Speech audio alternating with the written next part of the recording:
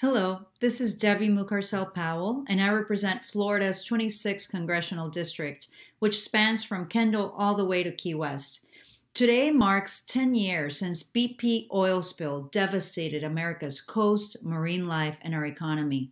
We knew 10 years ago the effects that this had in our environment and our way of life, and to this day, we're still discovering new consequences of this disaster.